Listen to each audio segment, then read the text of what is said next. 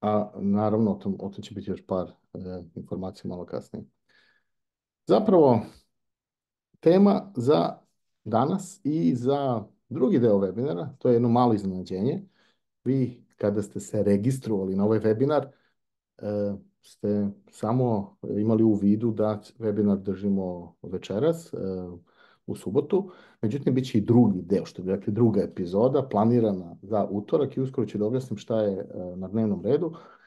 Večeras pričamo, kao što rekao, o e, generativnoj veštačkoj inteligenciji, zapravo u domenu kreiranja slika i pokazat ću par primjera tu i vidjet ćemo još jedan mali bonus. Gen AI, generativna veštačka inteligencija za kreiranje muzike. E, to što bi rekli, totalno marketing free, no, bez ikakvih propag, komercijalno propagandnih poruka. Večerašnja sesija se uh, bazira samo na priču. Jel? Uh, u utorak u 8 časova, znači utorak 2. aprila u 8 časova držimo drugi deo webinara gde možete da postavite pitanja vezano za prvi deo webinara ali ja ću vam tu predstaviti tada IMI Academy malo više, zapravo predstavit ću IMI Academy sebe možda sa više, više detalja. Pokazat ću tu još par dodatnih alata koje uh, smo mi razvili zapravo, ja i moj tim koji smo razvili, isto iz oblasti veštačke inteligencije, nadam se da, da i to će isto da izgleda impresivno i prezentovat ćemo potencijalno kurs koji uh, smo planirali da lansiramo vezano za generativnu veštačku inteligenciju. Večerašnja sesija, kao što ste primetili, eh, je u jednom smeru. Ja pričam vama, vi nemate mogućnost da odgovar, postavljate pitanja, da se uključite. Iz jedan od razloga je zapravo zato što moderator koji obično sa mnom ne prisustuje, pa da bismo jednostavno uh, eliminisali tu potencijalnu zabunu da vaša pitanja ne budu, ostanu neodgovorena, onda smo rekli, hajde ovako, ja ću večeras da pričam sam sa vama, da ne kažem sam sa sobom, jel? A, vi u utorak, ako naravno dođete u utorak, ako se registrujete, a, možete postaviti pitanje, jel? Mada, s jedne strane, to je možda i bolje, jer možemo zajedno da se fokusiramo na sam sadržaj, jel? E, plan za večeras, konkretno, zapravo trajanje negde do 90 minuta, moguće da ćemo završiti i ranije. Cilj mi je da demonstriram odgovornu upotrebu generativne veštačke inteligencije u domenu izrade slika s akcentom na reč odgovornu, o to malo više, malo kasnije. I e, nadam se da će biti više primjera, odnosno manje priče, ili bar da će ti primjeri biti možda i interesantni, upečatljivi, impresivni, jel? Pogotovo za vas koji se možda niste sretali sa ovom oblašću ranije.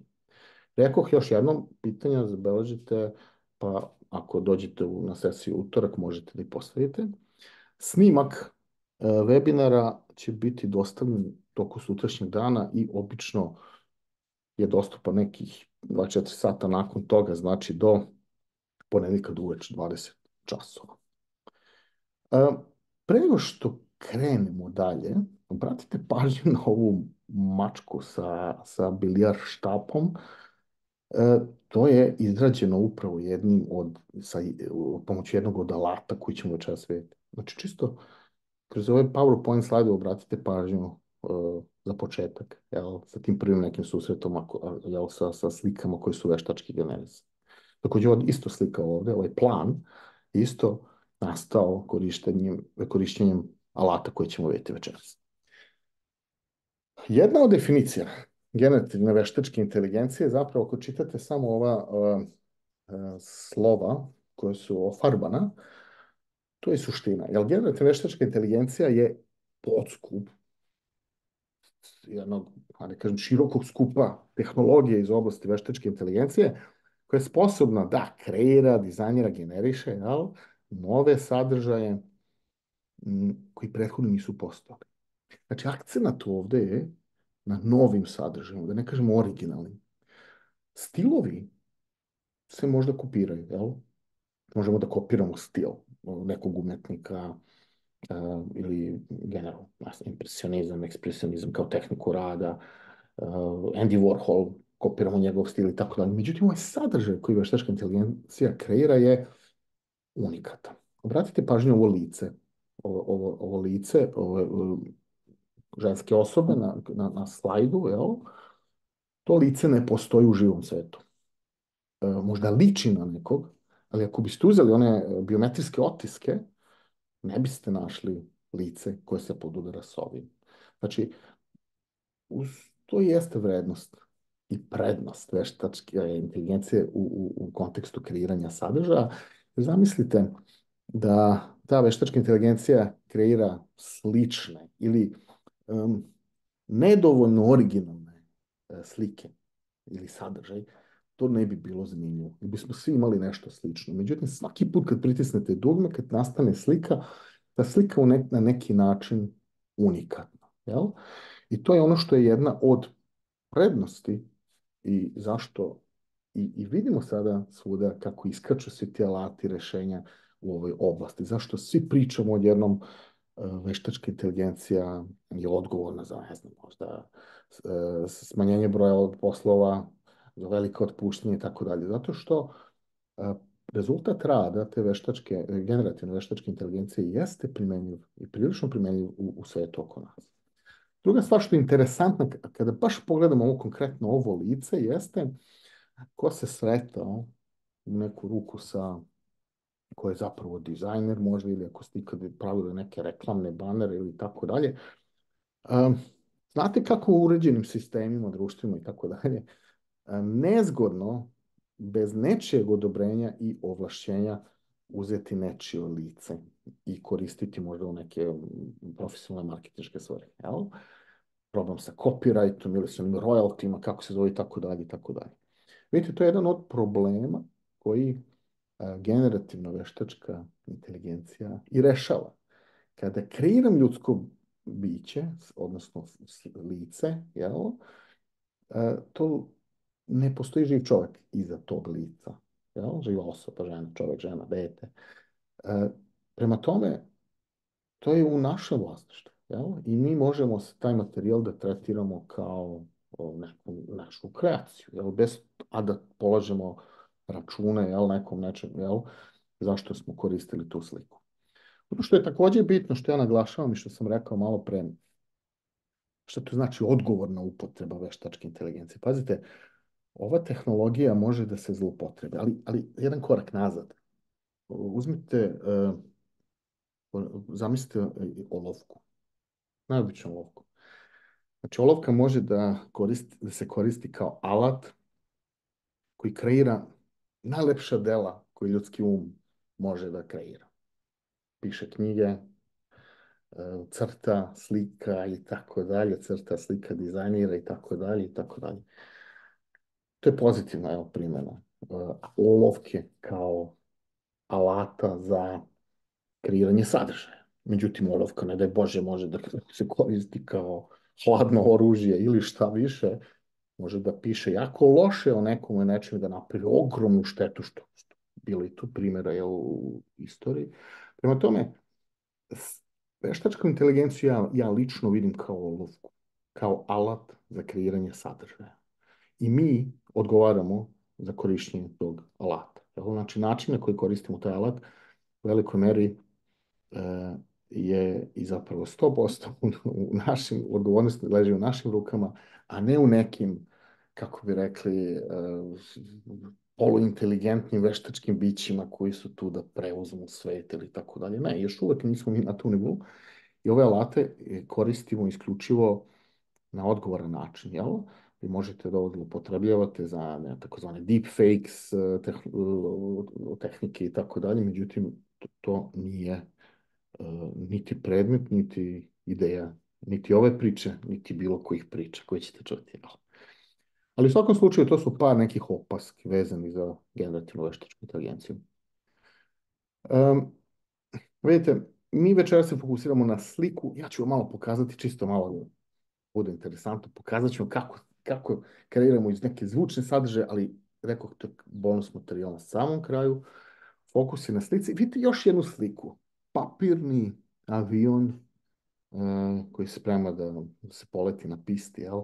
Znači, također, prilično abstraktna stvar em, koja je kor, ovdje jel, uh, prisutna. Em, pa, hajde ovako sad, možda narednih par minuta, ovo isto slika, jel, sve što ćete vidjeti je generisano od strane jel, uh, alata koje ćemo demonstrirati. Hajde da vidimo kako taj model veštačke inteligencije radi. Što bi rekli, šta je to ispod haube? Pazite, e, vama to ne treba da biste kliktali e, dugmiće i da biste generisali e, sintetičke fotografije slike. Vama to ne treba. Ali hajde možda za vas koji se prvi put srećete ili možda želite da razumete kako to radi, hajde da pokažemo, objasnimo. Biće prilično složena stvar, ja se trudite da objasnim na jednostavan način, ali hajde da, vidite šta je to otprilike, da, da, imate neku predstavu o tome. Ovo je jedna od, od zapravo prvih, uh, prvih modela takozvanog dubokog mašinskog učenja iz oblasti veštačke inteligencije, koji su pre, kako da kažemo, x godina uh, korišćeni za kreiranje sadržaja. Na engleskom se zove Generative Adversarial Network ili generativna suparnička mreža i u principu objasnit ćemo o čemu se radi. O, ovaj ovdje imate e, dva bloka koja su nam prilično interesantna, takozvani generator i diskriminator. To su vam modeli e, takozvanog e, veštačke, ajde kažem, inteligencije, odnosno to su vam neuronske mreže, jel? Da ne ulazimo puno detalja. I ta dva modela su zapravo suparnici. Zapravo, svi ti, e, ajde kažem, modeli e, neuronske mreže, modeli veštačke inteligencije, s- postoje, odnosno operišu u dva režima. Prvi režim je trening i često čujete termine učimo, obučavamo neuronsku mrežu, te ta, ti modeli, te neuronske mreže uče neke obrazce i šablone i to se zove, to je, to je tako ono trening. I onda imamo, ajde kažemo, taj a, drugi režim, a to je režim kada ih ko- koristimo za rješavanje konkretnih problema koje, koje nisu videli tokom treninga. jel? Znači, kao i ljudi. U, idu u školu, obučavaju se, a onda kad izađu iz škole, rješavaju ovo vanjske probleme koje možda nisu vidjeli u školi, ali su naučili neke principe i obrazce. Evo vidite, tako ta dva modela mi prvo treniramo i na kom principu? Ovaj generator, kao što vidite, on u toku treninga dobije neki a, tekstualni unos, vidjet ćete posle kad budemo pokazivali, opis neke slike i on u prvoj fazi generiše nešto na osnovu opisa i to je a, najčešće to što generiše ništa. Bukvalno siva sličica s nekim tačkicama, nešto bez veze. A ovaj diskriminator ovdje model, on e, kao unos, u taj ulaz, u taj svoj trening, on dobije pravu sliku koja odgovara opisu, jel? I dobije sliku koju je generator generisao. I u početku diskriminator e, ima zadatak jel, da e, kaže koja slika je fake, to je generisana, a koja je prava. I u početku to je lak posao za diskriminator. Jel? Kad moj generator pošalje neku sivu sličicu, on kaže ovo je fake, 100%, ovo je generisan. Nakon toga, matematika stupi tu na scenu, izračunaju se neke greške. Pazite, ovaj diskriminator uči, on, njegov cilj je da bude što bolje u prepoznavanju generisanih i stvarnih slika. A generatorov cilj je da što bolje on generiše sliku. I sada, kada oni uzmu te greške u obzir, kada se malo konfigurišu, uđu u drugi ciklus, generator napravi malo bolju sliku. Diskriminator kaže, a, fake. Međutim, možda je bio teži zadatak. Sad zamislite, posle nekih hiljadu iteracija, Bog zna koliko mnogo, generator toliko poboljša svoje sposobnosti, u jednom trenutku kad da tu sliku diskriminatoru, ovaj diskriminator kaže, ja više ne znam šta je stvarnost, a šta je generisano. Tog trenutka mi kažemo, da je trening završen i e, nakon toga ovaj model je spreman za korišćenje. Kada koristimo model, koristimo samo generator. Znači, ovaj diskriminator je bio uh, prisutan i imao je cilj samo da pomogne u treningu ovog generatora. Vidite, u suštini to tako funkcioniše. Evo. U ovom primjeru ovaj generator dobija kao unos tekst, ali može to da bude i zvuk, može to da bude i slika druga, i video i tako dalje i tako dalje. U svakom slučaju, šta god je u pitanju, ovo je neki opšti primjer kako ova, ove mreže funkcionišu. Ovo je jedan od, od tih takozvanih arhitektura, modela, koja se najčešće koristi uh, kada pričamo o, nekom kreiranju sadržaja od strane veštačke inteligencije. U principu, um,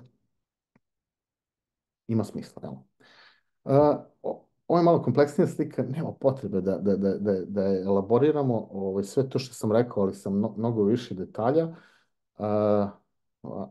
Međutim, neka ovo ostane negde na pameti.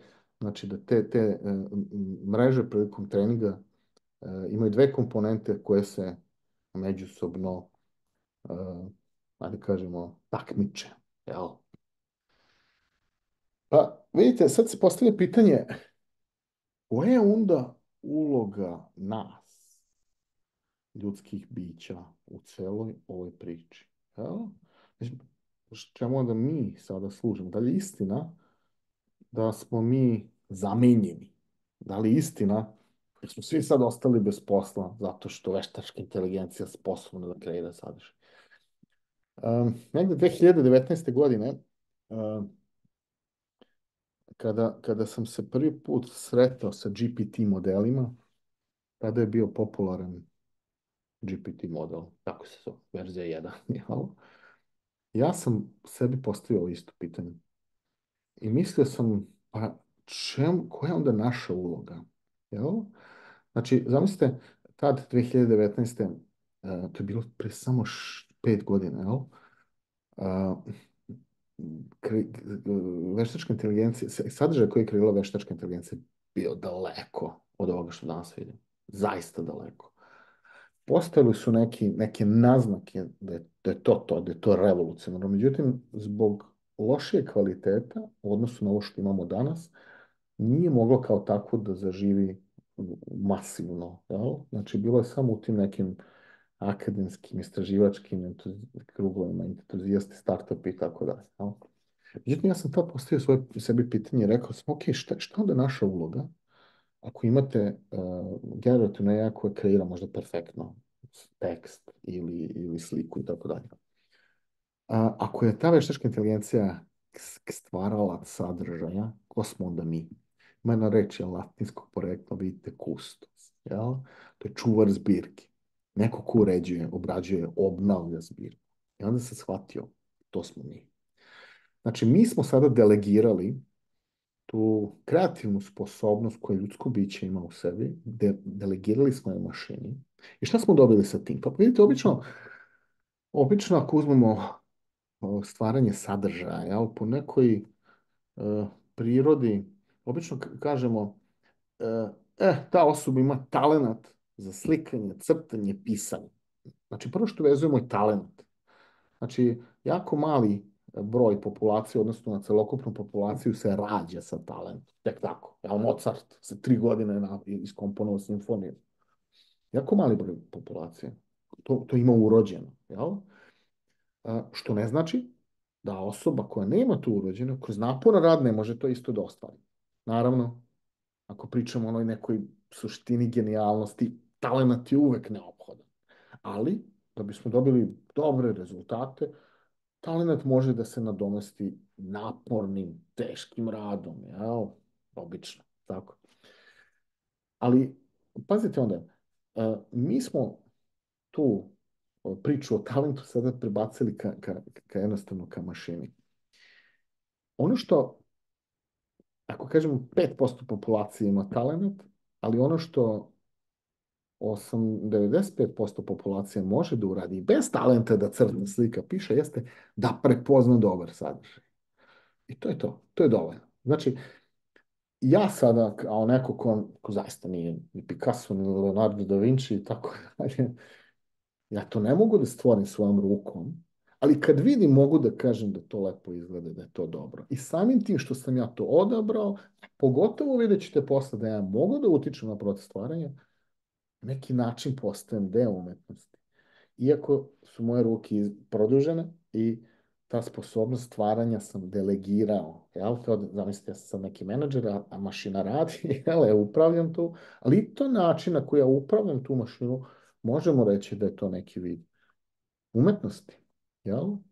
Ta, ta, ta, ta mogućnost da, da doživite taj sadržaj, da ga promenite, da odaberete, selekcionišete, jel? Znači vi imate, vi ste kustos, vi ste selekcionar, selekcionarka, jel? Vi birate, odabirate najbolje od toga što je kreirano i samim tim na neki način to odražava taj neki vaš lični izražaj, jel?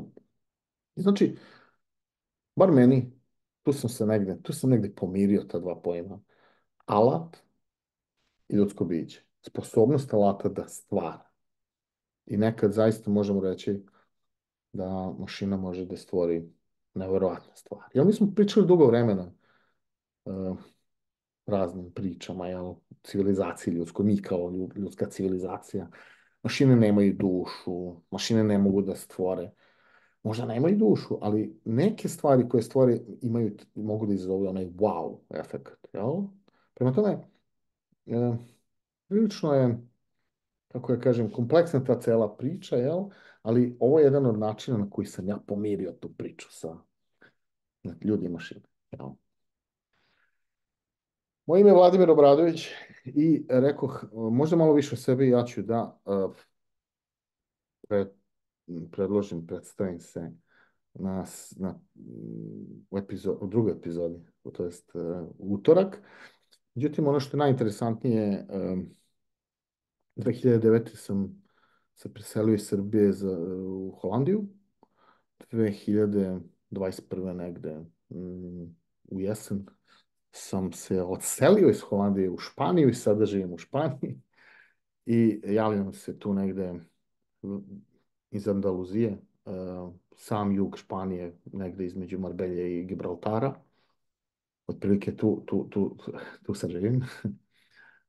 S veštačkom inteligencijom se aktivno bavim od 2015. godine. Mogu da kažem da mislim da sam svoje perspektive zaokružio tu priču.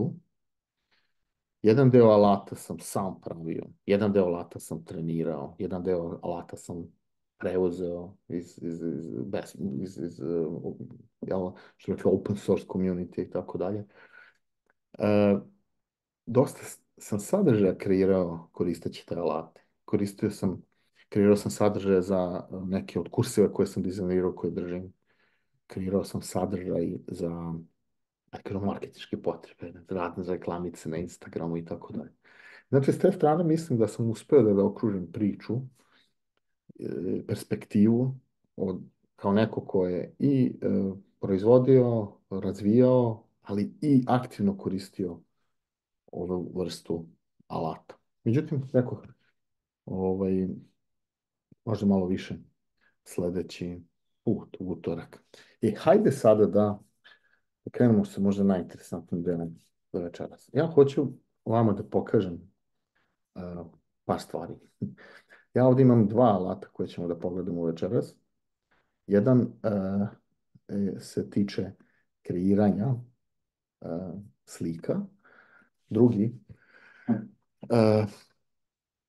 face cloninga ili kloniranja lica i rekoh, pristupamo tome sa jedne etičke i visoko odgovorne strane. Hajde da vidimo kako ćemo da kreiramo slike. Evo ovako. Uh, vidite, evo, evo vidite ovo o čemu sam pričao. Znači, prazan ekran. I sad, vi ste kreator sadržaja koji kreira, koji koristi veštačku inteligenciju. I ovo je najteži trenutak. Ovaj kurzor trperi i vi ste razmišljate šta da kucam. Ajde ovako. Uh, paper boat. Uh, kucamo na engleskom. Ja ću studiti vam prevodim, ali cenim da vjerovatno na ovom nivou jednostavnosti engleskog prompta, jel ovaj tekstualni prompt zovemo prompt ili upit, unos upit, znači ovaj prompt je jednostavan. A paper boat in a cup of coffee. Da li možete zamisliti papirni brodić u šoljici kafe? I vidite, recimo dugme. I sada pazite. Sada, sada se otključava jedan svet. Da li sam ja ovako to zamislio? Ne znam da vam kažem. Ali možete da vidite uh, nivo kvaliteta. Meni ovo deluje kao keramička šoljica s možda nekim kartončićima unutra. Ali impresivno, mislim, nevjerojatno, jel? Hajde probamo još jednom često. Vidimo šta će se sad desiti. E, sad smo dobili, vidite, samo šoljicu kafe. Znači, vidite otprilike e, na kom nivou to funkcioniše. Nemate 100% uticaj na ono što biva kreirano. Jel? E, vi možete da, e, evo vidite kako to izgleda. Jel? Vi možete da, vidite ovdje nema uopšte papirnog brodića nigde. Znači možete da unosite tekst, ali dobijete visoko kvalitetne fotografije. Ali te fotografije ne možete 100% da utišati. Ajmo kažemo, in a uh, paper boat sailing plovi, znači papirni brodić plovi u šoljici kafe. Vidimo kako će to da izgleda. E, ovo je malo onako e, bliže možda nekoj zamisli inicijalnoj. E, obratite pažnju e, koliko u ovom promptu reč papirni brod ima težinu, da model generiše i šolju u vidu broda. Mada, ovo zaista lepo izgleda. Ovo izgleda kao jedro, odnosno cela šolja sa jedrom je jedan, mm, jedan proizvod, jedan objekat. I izgleda lepo, sa zalaskom sunca. Izgleda fenomenalno. Uh, I otprilike vidite, ali ima još jedan, uh, ja još jednu sliku. I um, samo da vidimo ovako, people were sailing in a stormy, sad ću da kažem, cup, olujna, cup of coffee, big waves. O, veliki talas. Sad očekujemo neku oluju, da li u šoljici kafe ili izvan, ali vidite otprilike sada, e, ja sam sugerisao e, da želim da vidim papirni brod u šoljici kafe i rekao sam oluje, veliki, visoki, veliki talasi i kao rezultat dobijam uh, to što sam tražio, ali možda sam htio da ta kafa u šolji bude kao jedno more uh, puno talasa. Međutim, ja to nisam dovoljno opisao. Hajde da probamo da opišemo nekako. A paper boy selling in a cup in a cup of coffee. A coffee is like a stormy sea. Sad sam rekao, kafa je kao stormy sea. Čisto da vidite kako, na koji način ja kucam, na koji način ja utičem na kreiranje sadržaja. Evo ga, ovo je jedna isto sličica, baš kao što sam htjela, ali nije baš stormy sea.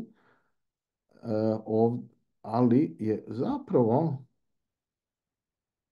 inicijalno kada sam krenuo da kucam ovaj prompt, hteo sam da dobijem ovo. Vidite, ja bih sada kao ne kustos selekcionar, da sam pravio neku reklamu, rekao stop, uzimam ovu sliku, jer sam ovo hteo. Eksperimentisao sam, probao sam, ali sam generalno uh, hteo da dobijem to. Vidite kako to funkcioniše. Hajde da kažemo još malo da, da se igramo s ovim, da vidite. Uh, uh, Golden Ferrari. Zlatni Ferrari. Vratite pažnju koliko brzo ja dobijem ovu sliku. Zamislite da sam otišao na one servise gdje imate klasičan search. Ali možete pretpostaviti koliko vremena bi mi trebalo da nađem. I kad bih našao, to je to. Jel? Ne bih mogao da modifikujem i tako dalje. S druge strane, zamislite da sam mm, dizajner koji želi ovdje dizajner. Ja nisam zapravo, dizajner, ne znam ni kako. Vjerojatno u Photoshopu, nekim 3D alatima, 3D modelima bih ovo morao da uradim i to bi trajalo i trajalo, vjerovatno. Ne vjerujem da može brže od ovoga da se, da se napravi. A Golden Ferrari in the busy street. Ajmo Ferrari na, u, u, u, u, u u busy ulici, što bi rekli. Evo ga, sada vidimo u, na ovoj slici, pošto smo rekli busy street, vidimo i druga kola, vidimo i uh, neke, što bi rekli, ljude i tako dalje. Primetili ste, prethodne slike su imali samo zlatni Ferrari, bez nekog saobraćaja. Ovdje, međutim, ja vidim i, i saobraćaj. I još jednom rekao, uh, da, da, evo ga. Još jednom rekao, obratite pažnju na kvalitet ovoga, ove slike. Kada pričamo o kvalitetu, ja imam ovdje mogućnost da biram i rezoluciju, ali, vidite, ovo je horizontalna slika. Šta da sam htio da napravim to za Instagram story, pa da bude vertikalna slika? Jel? Ja samo ovdje odaberem rezoluciju i dobijem vertikalnu sliku. Jel? Što znači, e, moguće je kontrolisati aspekt, to jest e, položaj fotografije, ali obratite pažnju da je velika razlika da li je horizontalna i vertikalna, jer on ako je vertikalna generiše sadržaj po aspektu. Vidite, ovdje su sad kola iza i ljudi su iza. Kad je bila horizontalna, bilo je u drugom formatu. Jel? Ovdje još jednom da se vratim na horizontalni format. Golden Ferrari uh, on the iceberg. Zlatni Ferrari na ledenom bregu. Čisto vidite kako, na koji način, kako, fan, kako ovaj, fantastično, dakle, fantastični s aspekta fantazije, ali isto tako, bar bih ja rekao da ovo zaista izgleda perfektno. Obratite pažnju na odsjaj na ovom Ferrariju, da se tu vidi led da taj odsjaj u velikoj meri ta obratite pažnju na vodi, refleksiju, znači obratite pažnju nivo, dubinu te kreacije, kada imamo i refleksiju na vodi.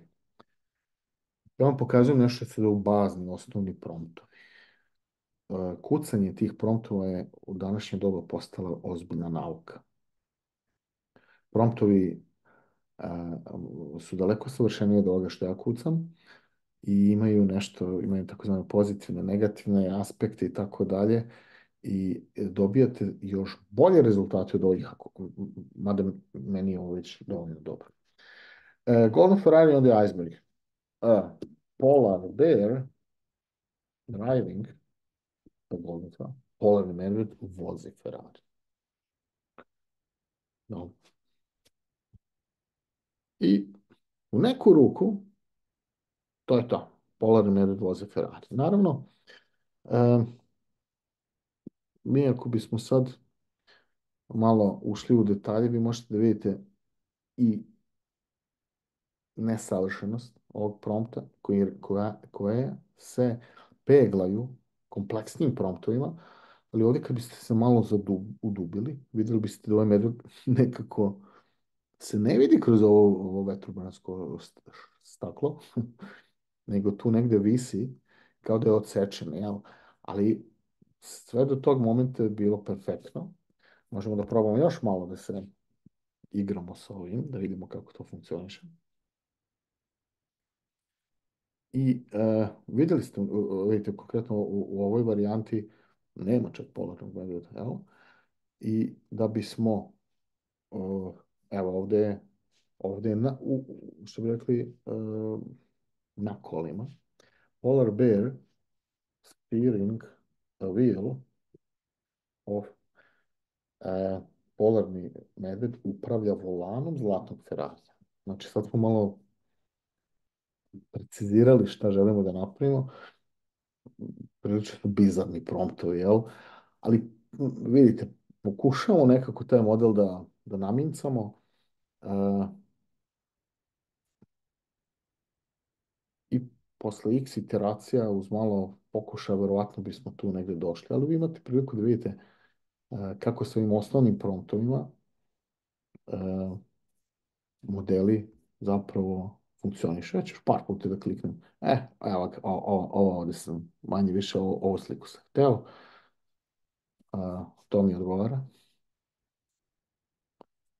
Vidite kako je ovdje napravljen Golden Ferrari, kao Formula 1 Ferrari, jel? Uh, ali recimo, evo, ja bih kao, kao sa, sa onom pričom sa šoljicom za kafu, ovu sliku bi uzeo, čak ovdje vidim i um, nogu kroz vetrobransko staklo, vidim refleksiju ovih šapa prednjih na staklu, rekao bih, uzimam ovu sliku, to sam teo, na primjer, jel? Znači, vidite kako možemo uh, da upravljamo tom nekom našom kreacijom. Ono što je još interesantno, uh, ne samo što upravljamo sadržajem, ne samo što upravljamo uh, veličinom te slike, mi možemo da upravljamo i stilovima. I to je ono što je možda i još jedno, ako ne možda i najveće bogatstvo ovakvih generativnih alata, obratite pažnju. Znači, ovdje ste vidjeli razne rezolucije. Ej, hajde vidimo stilo. Obratite sad pažnju ovako. Um, hajde ovo je ista slika.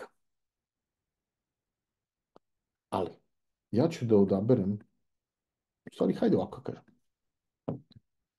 Um, ne, a, ovako, napričam nešto interesantnije. Napričam interesantnije. Um, Cat. Um,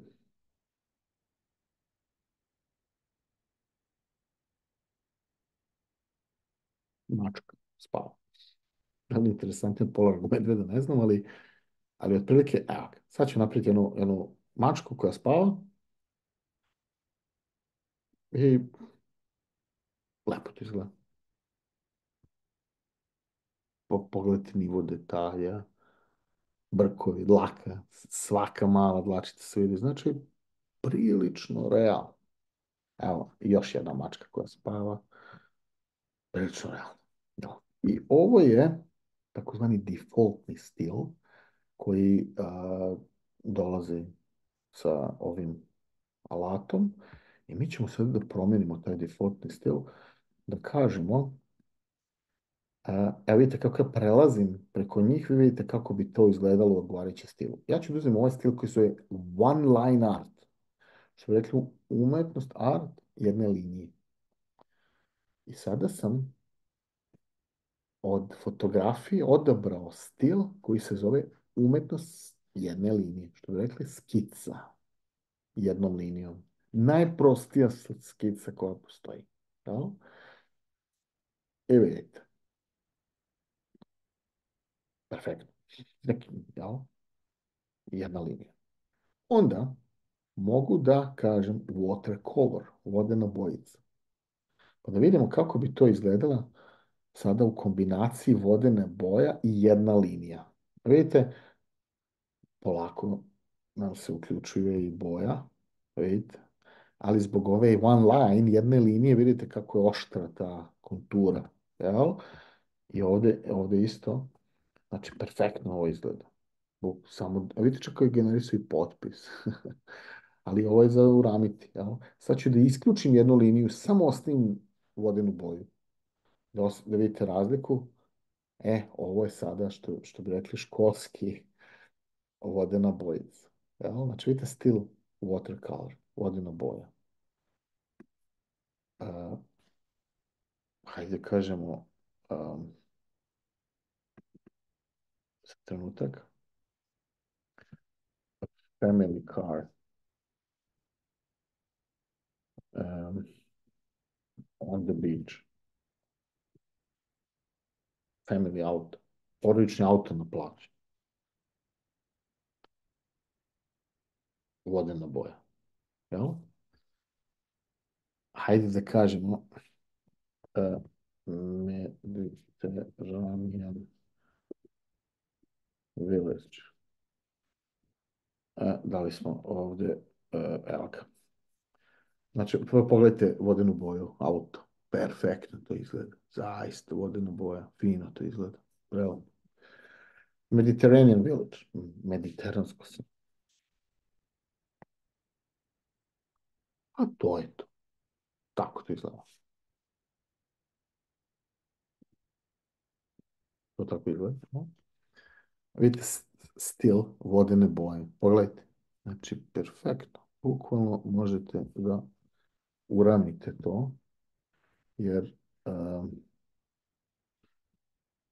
izgleda fenomenalno. I s druge strane unikatno je. Onog trenutka kada veštačka inteligencija stvori sadržaj, to je vaš sadržaj. Imate pravo da, da ovo potpišete svoje ime. Jel?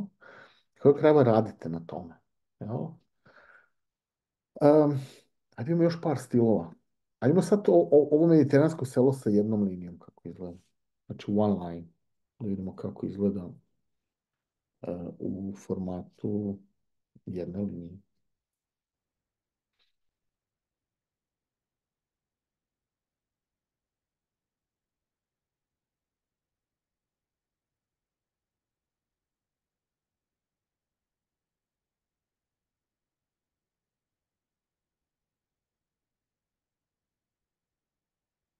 Ups, postoji mogućnost da smo malo opteretili sistem. Uh,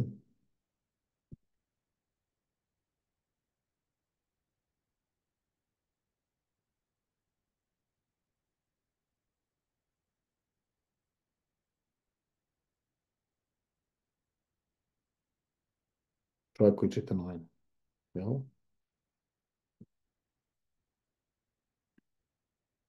Ok.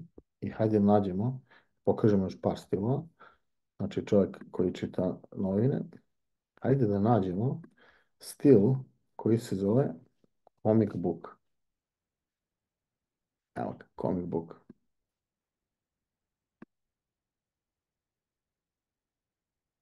Vidite, kao strip. Sada smo u, u strip stilu. Znači, sada isto da downloadujem neke od ovih slika da bih polako pripremio materijal za naš deo vezan za kloniranje lica. Znači, pogledajte. Prati pažnju slova. To su neki hieroglifi, je mašina ovo izgenerisala, ali, ali obrati pažnju na detaljnost novine. Ovdje imate neke slike. Jel izgleda kao strip, jel? Izgleda kao strip. Ja ću da downloadujem ovih par primjera, čisto da mi ostane. Ovo je ovdje i deluje kao strip, ali rekao bih da, da, da je povukao malo više od, od sa realnog aspekta. Pop art stil. Drečavo, prilično kao agresivan strip, ajde kažemo, jel? Vidite. Čovjek koji čita novine. Evo ja ću tu isto da, što bi rekli, preuzmem još ovih, downloadujem ovih par slika koji će mi trebati za kasnije. Uh, man reading newspapers in the train. Sad ću malo da menjamo ovdje format. I da vidimo, hajde da vidimo futuristic biomechanical cyberpunk. Zvuči opasno, ali to su oni neki futuristički uh, nijanse i vidite već ovaj, obratimo pažnju tu su naučare, ali ne kao o, o, neke, što bi rekli, obične naučare. Cyberpunk je uvijek nešto, virtual reality, nešto, vidite, ovdje su neke digitalne naučare. Vidite kako se stil menja, jel? Znači, stil se menja. Hajde da ovdje probamo isto da downloadimo, možda ćemo da koristimo kasnije. Uh, da vidimo šta još možemo da kažemo. Uh, um, a kako da kažemo, kitchen. uh, woman, a man, a man making pancakes in the kitchen. Čovjek pravi palačinke u kuhinji. Hajde da odaberemo futuristic biomechanical cyberpunk. Da vidimo kako izgleda ta kuhinja i kako izgleda taj uh, cyberpunk, obratite pažnju. To je neki kiborg, ali tu su palačinke, jel? Znači, obratite pažnju, taj prompt, vidite kako izgleda, kao iz filmova naučne fantastike. To je taj cyberpunk biomechanical style. Biomechanical znači da koristimo te neke spojeve ljudi, ljudi i mašina. Ako bismo to prebacili na fotoglamur style, vidimo kako bi to izgledalo u fotoglamur stilu, totalno drugačije. Jel? Evo ja ću da i u ovom stilu pokušam da preuzmem ovu sliku, jer će nam biti interesantna za, za drugi deo demonstracije. Vidite, kuvar. Prebacit ćemo ovdje kuvara i ovdje imamo još jedno kuvara i tog ćemo kuvara da downloadujemo.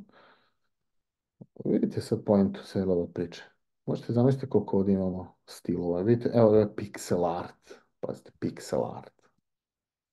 Uh, umetnost tačkice. A pogledajte pixel art, kao Minecraft. E, ako vam sad treba nešto za Minecraft, uh, možete da koristite ovo. I da se vratimo na one, one, one line art. Um, ok. Vidite kako izgleda. Kao u Minecraftu. Super. I hajde vidimo još jednom one, line art. Uh, ne znam da li sam negde uh, kliknuo. Ovo je one line art nam je omanuo. uh, zato što ajde da sačekam da završim što, što, što ga nije prihvatio kako treba. Evo, probat ćemo još jednom da isključimo ove defaultne. Probamo još jednom da imamo one-line art. A one-line art nam se jednostavno ne može da izbori sa, sa svim promptovima, nažalost. Probat ćemo da kažemo uh, cat and dog. Jednostavno mislim da je ovo suviše, za ovaj stil suviše kompleksno, ali vidimo Jeste. Znate, stil, uh, stil je, kako se setite na moje priče, nastao uh, uz pomoć um, nekim treningom. I sećate se ono što sam pričao, imate tekst i sliku, dajte tokom treninga. I jednostavno uh, nije bilo dovoljno kompleksnih primjera za one line art, jer je to prilično simple stil. Jel? i koji jednostavno nije dovoljno uh, istreniran da bi kreirao kompleksne scene. Evo ga, imamo ovaj doodle art koji je malo komple koji radi, može da generiše, ali otprilike uh, vidite o čemu pričam, koja je suština ovoga. Možete da birate razne stilove i u zavisnosti od vašeg tekstualnog unosa vi i dobijete odgovarajuće rezultate. Ono što također možemo da uradimo, obratite pažnju, ja sam downloadovao ovdje neke slike i uh, obratite pažnju. Evo, ovo je moja slika zapravo, ovo je moja slika. I ta slika, pokušat ćemo da to iskoristimo kao upit za naš model. Znači, ne samo što možemo u ovom modelu da postavimo upit takozvanim tekstualnim promptom, nego možemo da ga pitamo i pomoću slike. Znači, undo input image. Obratite sad pažnju.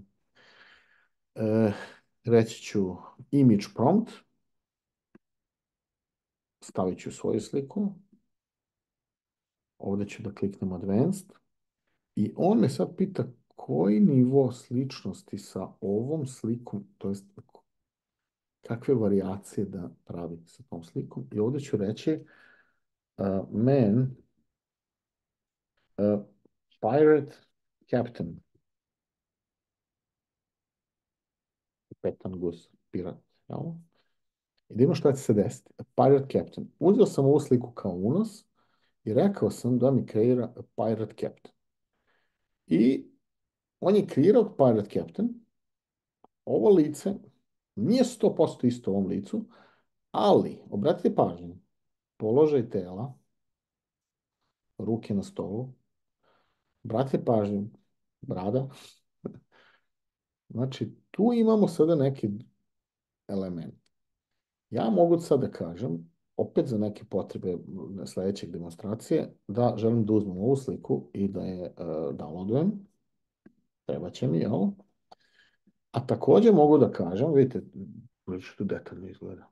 A također mogu da kažem, da, da kažem, takozvani face swap ovdje, i da kliknem na generate i neće da uradi 100% kloniranje lica, ali će u velikoj meri uzeti u obzir moje lice koje nije isto, ali ja vidim kao neko ko gleda sebe u gledalu, ja vidim da tu postoje neke naznake.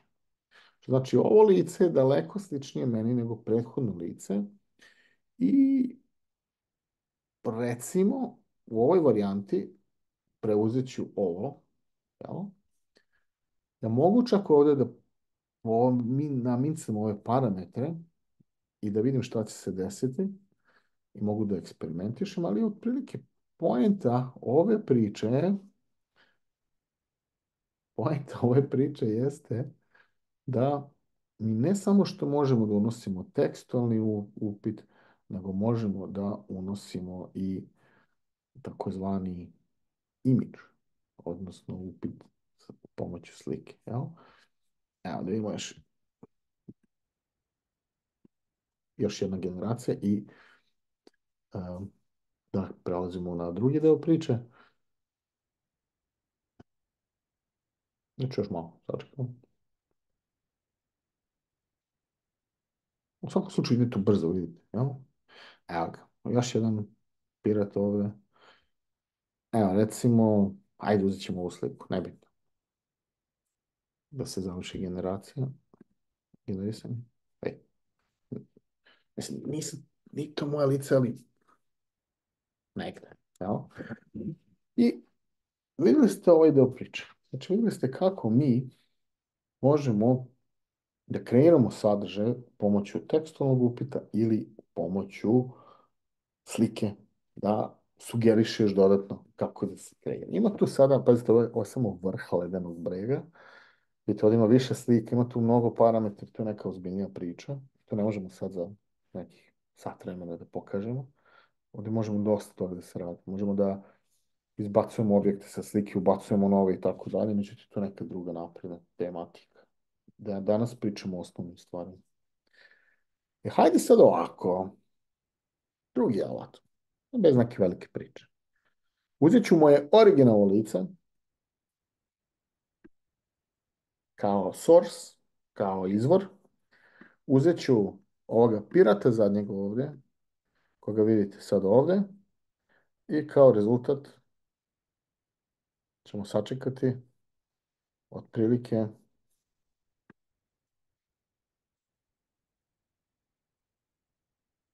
face swapping cloning. Nije isto, ali je sličnije od originala. E, znači ovo je preview panel, ovdje je e, generisani panel i možete pogledati ovdje razliku lica. Vidite, originalno lice, nepostojeći čovjek, sad smo ga generisali i ja vidim svoje elemente. Obratite pažnju da oblik ovoga targeta, što bi rekli, cilja, ciljanog modela, oblik lica i sve se zadržava na vašem generisanom licu. Jel? Što znači da obično ako biste htjeli da se replicirate, da biste koristili što je moguće uh, slični oblik. Um, hajde pogledamo još malo kad već pričamo. Hajde pogledamo ovog ovdje gusara, odnosno pirata, kako bi rekli. Vidimo kako bi to izgledalo.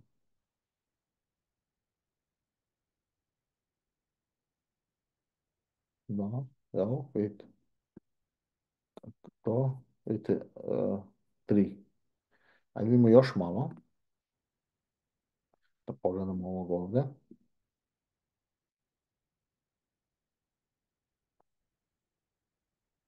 Pa ćemo vidjeti. Vidite. Ajde da promijenimo ovaj source. Stavit ću, uzet ću drugu sliku. A uzet ću ovu sliku svoju. Ovdje malo što bolji nivo sličnosti. Jel? Moglo bi da proći, da budem iskren. Može da proći. Evo ja, ja sam kažem, ok, pristajem da se, nije 100%, ali pristajem. I dok evo još malo demonstriram na ovim, sada, da se vratimo na, na ovih par lica, vidimo gdje, gdje ovo može da se koristi. Pazite, uh, ako pričamo o, o izradi uh, nekog, recimo, marketinškog materijala, ja želim da reklamiram neki kurs. Ne, ne pirateri, ne, ne pričam o kursu piraterije, nego recimo neki kurs ili ne, neš, nešto. O, o, evo, kad pričamo o pirateriji, skoro sam napravio rođendansku pozivnicu za mog sina, koji je u fazi nekih pirata, jel? I onda sam uzeo njegovo lice i stavio sam na razne pirate i onda je on to svojim drugarima prosledio kao, drugaricama, jel, prosledio kao neku pozivnicu. Da smo koristili pirate. Ali recimo, pretpostavite, hoćete da napravite neku reklamu ili da reklamirate nešto i sad da biste napravili odgovarajuću scenografiju. Zamislite sad ovdje, sad nađemo ovaj kostim pa gdje da ga nađe, jel? I scenu možda, jel? Na brodu, uh, hajde, pazite, ajde se vratimo na, na, na, na A pirate captain standing uh, on the pirate ship during a battle. Nijemo šta da se desi. Znate sada ovakvu vrstu koreografije da napravim. Kako sada napravimo ovu koreografiju sa brodovima, sa ne znam nije tim svim čudesima, jel? I e, to bi bilo malo ne nemoguće. Mislim, moguće, ali možete zamisliti. A recimo da sam ja, da meni treba za sutra ili, ili mi sad palo na pamet i tako dalje. Znači, kako da napravimo tu scenografiju? Onda uzmemo, koristimo ovu tehnologiju, gdje uz x pokušaja a mi možemo da ostvarimo to što mi treba. Jel? I rekoh, nije 100% nekad, naravno nije 100%, ali, ali možete da nađete odgovarajući balans da to liči, da to izgleda kako treba da izgleda. A, I otprilike to je jedan od načina primjene. Onda vidite ovdje, vidimo kako se ponaša ovaj model. Ajde nađemo ovdje, ovdje ove šafove, da vidimo sa prethodnim slikama. Vidite, ovdje je bio ovaj kuvar. A vidite, ovdje drugačiji oblik lica, ali se preuzima, rekao bih, moglo bi da prođe sad da tu stavimo kosu i sve to bi prošlo. Evo. Uh, ajde probamo još par modela. Imamo ovdje. Obratite pažnju kada uh, imamo slike gdje, gdje se nalazi nešto na licu, da li su šešir, kapa ili tako da vidite ovdje isto. On skida crte lica sa originalnog i mapira. Uh, jel, ko vas 100% ne poznaje, progotao bi ovo kao original. Jel? Da vidimo kako se, uh, vidimo, ovdje smo imali, čini mi se, naočare, to sam htio da pokažem, da vidite kako se uh, model snalazi kad imate nešto, na, na taj target model ima nešto na licu, ovo bi morali nekako da zoomiramo, da vidimo kako to funkcioniše. Ajde probamo da downloadujemo. Download. Otvorimo sliku. Da vidimo. To su elementi, jel? Mogli bi reći su te crte lice, jel? Zapravo šta smo htjeli da ostvarimo sa ovim i funkcioniše. Da vidimo kako se ponaša sa, a, da ne kažemo animiranim, odnosno comic book sa, sa strip varijantom, nas interesuje, jel? Ok, još. Evo, brate, pažnje, ovo je, ovo je oblik glave, lica, a ovo je, da kažemo, fizionomija lica, jel? Znači, o, o- ove crte, crte lica se prebacuju na oblik lica ovdje, jel? Stilizovano, što bi rekli. Stilizovano. Da imamo još jednu stilizaciju, imali smo ovdje isto crtež. E, ovdje smo, ovdje kad, e, prepoznao je dva lica, pa ćemo, samo da vidimo, morat ćemo da ih prebacimo. Evo ga. Znači, ovo, je sada maksimum, čini mi se, sad ćemo da vidimo. Jeste. Ok, ok. Ali probamo još jednom, znači da izradimo sada u celoj rezoluciji. Također moguće je na ovaj način i video materijal kreirati, znači u varijanti video list. Pa da, ok, ok, sviđa mi se, da. Prodat. Vidite, sad bi mogao napraviti strip da sam ja glavni lik. Ali ovo može da ide lepo, ja rekao, ako radite neki marketički materijal i tako dalje. Prilično je visok nivo stilizacije. Čak ako radite očigledno stilizovano kao što je strip, niko ne očekuje automatski 100% tačnost i onda ste uboli 100%. Dok ako radite a, realnu repliku, onda znate, ako ponudite ljudima, kažete ovo je realno, onda očekuju svi da bude e, nivo. Jel? Ali ako već u startu kažete to je strip, niko ne očekuje da je 100% u stripu, ali, ali ovo recimo je prilično zgodno. Jel? Na, na ovaj način urađeno. I generalno, a, ne znam da li imamo još neki primjerčić da vidite čisto. e da, ovo, ajde izradimo. Da brzo. A, a, Kuba Diver. Ok. E, in the a, near the coral reef. Što bi rekli skuba, ronioc, blizu koralnog grebena. Aha, vidite, ja sam sada stavio svoju sliku i onda on pokušava mene da ubaci ovdje, ali hajde ovako da uradimo. Ja ću sada, kad nam završi generisanje, e, ja ću sada da e, izađem iz ovog režima e, slike kao prompta, znači iz- izbacit ćemo ovo i vratit ćemo samo na tekst prompt. Znači sad samo tekst uzimo u obzir i em, ćemo da vidimo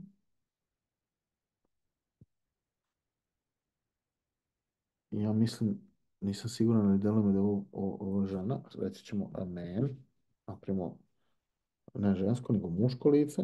A man scuba diver near the coral reef.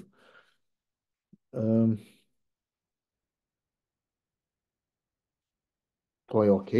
I reći ćemo close up face shot. Što bi rekli izbliza krupan plan. Jel? Sačekajmo trenutak. Krupan plan. E, otprilike to smo tu negdje htjeli. S ovim možemo da radimo dalje.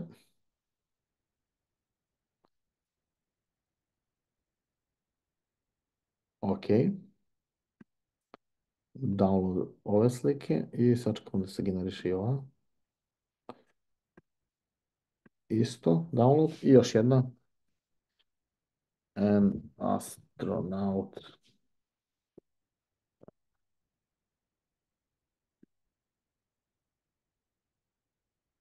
Ajde napravimo još jednog astronauta i generalno, e, evo ga, isto. Ok. Pije vodu. Znači ovdje nisam uslovljavao e, mrežu e, sa svojom slikom. Ovo je samo tekstovni prompt i dobijamo, tako reći, totalno nepostojeća lica. Evo, uzet ćemo ovu sliku, downloadovati i sad se vraćamo na sistem za kloniranje i hajde prvo da vidimo jednog od scuba drivera, driver, divera, ronioca.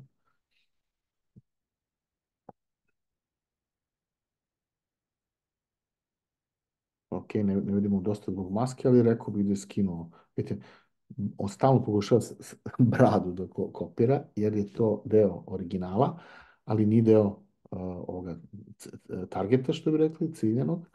Da probamo još jedno ovde, da vidimo. Znači, ovo sad što vam pokazujem su totalno ne, neselekcion, zaista sluč, najgore mogući slučaj odabira lica. Jer Obično rekoh, t- tražimo da i oblik lica, oblik glave, konture, da sve liči i onda imamo visok stepen sličnosti. Međutim, ovdje vam se pokazujem čisto, što rekli, sirov prikaz. Čisto vidite kako izgleda. I dalje je to prilično impresivno. I još imamo astronauta. Evo ga, a, mislim da to prolazi. Obratite pažnju ta slika, stavit ćemo sada uh, drugu moju sliku.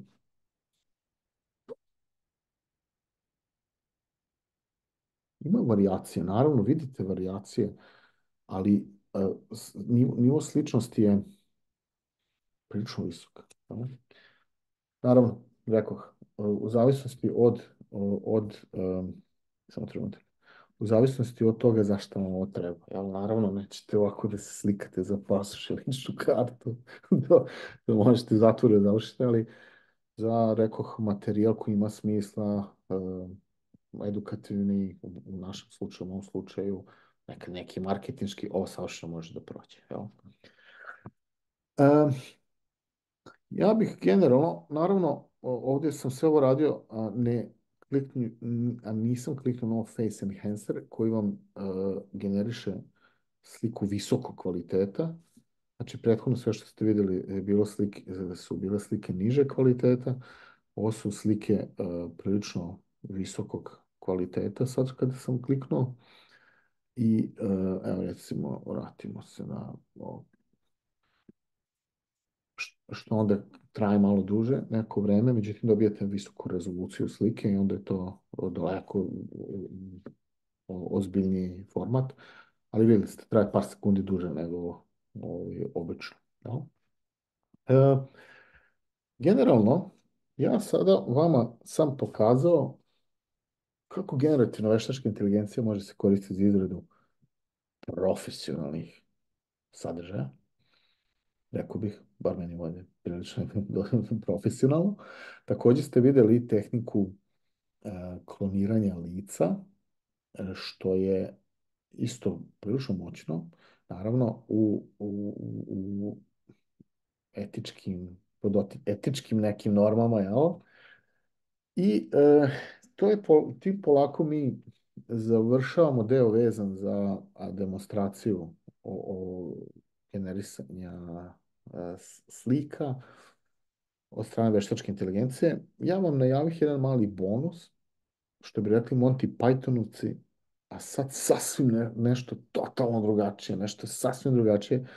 Pokazat ću nešto jako impresivno i to možete koristiti. Evo sad, posle ovoga, besplatan sistem, ovaj, zgodna stvar, pokazat ću vam čisto još jednu oblast izrade, evo, korišćenja generativne veštačke inteligencije i nakon toga polako odjavljujemo, po- najavit ću vam šta radimo opet utorak i tu smo negde u, što bi rekli, završnoj fazi današnjeg predavanja. Ja ovdje imam jedan sistem, website se zove, a možete sad da zapamtite, www.refusion.com r-i-f-f-u-z-i-on.com Ovaj website koristimo da kreiramo pesme. Pesme, ne pesmice, e, lektire, nego pesme kao ćete. Uh, hajde kažemo, uh, today is a beautiful day. It is sunny and warm. Danas je lep dan, sunčan i toplo. To je tekst. To će mašina da otpeva. A ovo nam je žanr. Sad ćemo da vidimo. pop 80s.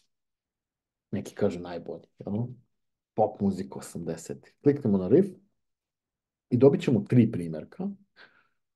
Ti primjerci traju, čini mi se, 12 sekundi, to je maksimum. Znači, ovo, ovo možete koristiti profesionalno za džinglove. Vi imate pravo korištenja ovih pesmica. E, samo traje e, 12 sekundi. Ali verujte mi, ako, ako krenete da kucate sa raznim stilovima, ja bih ovo slušao na radiju. Hajde da čujemo kako izgleda. Today is a beautiful day. It's sunny and warm. Ok. Još jedna. Today is a beautiful day. It is sunny and warm. Još jedna. Today is a beautiful day. It is sunny and warm. Dobra muzika. Dobra melodija. Hajde da kažemo rock. Hard rock. Sačekat ćemo još malo. Znači 12 sekundi. Možete da downloadujete ove, sli- ove um, kompozicije i ako vam treba neki jingle, ako pravite neku reklamu, nešto na Instagramu, totalno originalno, totalno napravljeno samo za vas. Besplatan sistem. Ajde imamo još uh, ovu varijantu i uh, generalno, što bi rekli, mislim da ste razumjeli, možete da koristite bilo koje žanrove, dopisujete kako ko želite. Pa Today is a beautiful day. It is sunny and warm. cool. Today is a beautiful day. It is sunny and warm. Nice. Ah, today is a beautiful day. It is sunny and warm.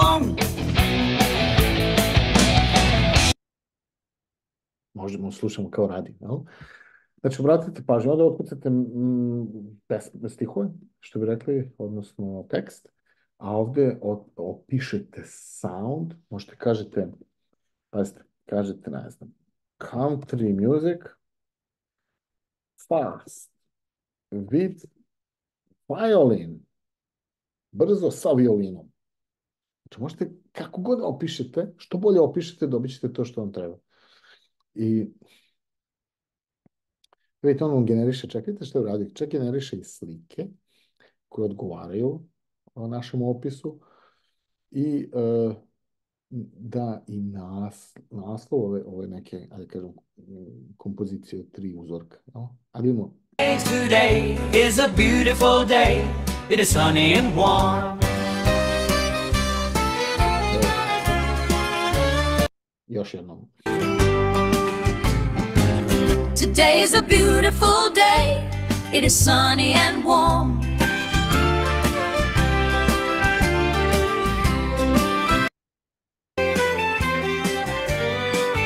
Ah, today is a beautiful day. It is sunny and warm. I tako dalje, tako dalje. Nadam se da ćete vi biti inspirisani e, i jel, kreirati neki, neki nove hitove. Mi polako završavamo današnji čas. Rekoh, utorak 2. aprila u 8 sati uveče imat ćemo neku ruku otvorenu sesiju jer bit će chat dostupan, tako možete postavljati ra- razna pitanja. E, ja ću tada u utorak da e, predstavim IMA Academy. Pokazat ću vam isto na toj sesiji još par nekih alata koje smo mi koristili. Nisu toliko možda vezani za generativno AI, ali čisto vidite i dalje veštačka inteligencija na delu, bar u oblasti edukacije kako mi koristimo. Ja ću vam predstaviti kurs koji smo nazvali više rezultata za manje vremena u ZAI. Zapravo, taj kurs je nastavak. Ako, ako ste se našli u ovoj oblasti i želite da učite dalje, ja ću vam pokazati kako ja mogu da vam? A, ako vas interesuje, naravno. E, to je znači utorak. E, sutra ćete dobiti e-mail. Taj mail će da sadrži link ka snimku današnjeg webinara, a također u utorak, ne- nema potrebe da se dalje nešto dodatno registrujete, mi ćemo u utorak negde ujutru poslati jedan mail kao podsjetnik e, za webinar uveče i isto kao i sad, nekih sat vremena pre, poslaćemo link, sat, pola sata, znači čekajte, dođe link, nekad ne, ne stigne tačno u minut, jer je velik broj mailova koje, koje moramo da, da sistem da procesira. Znači, u svakom slučaju dobit ćete e-mail sa linkom, uh, Zoom linkom za tu drugu sesiju. Znači, ne treba ništa se registrujete, uh, totalno je neobavezno, kao i ovo večeras ko, ko se pojavi, pojavi se, znači nikakve obaveze tu nemate, nikakvi dodatnih registracija. A, čisto rekoh, najavio sam šta ćemo da radimo utorak, koji je zainteresovan da čuje dalje i čuje još par nekih novih stvari, a, slobodno, ja vas pozivam sve. A ko želi samo da postavi pitanja vezano za ovo večeras, pozivam i vas. Jel rekoh, počet ćemo sa pitanjima i odgovorima i ja ću posle da prezentujem i IM Academy i, i, i neke uh, alate i kurs, ali rekoh, uh, ko želi da postavi neka pitanja, uh, slobodno se pojavite u utorak uveče u 8 časova. Uh, ja se iskreno nadam da, da ste videli nešto interesantno, nešto drugačije, nešto zanimljivo, da ste nešto naučili i nadam se da ćemo se vidjeti još uh, na drugom, u drugom polovremenu, ovo je prvo polovreme i želim vam prijatan vikend, sve najbolje i vidimo se. Prijatno, prijatno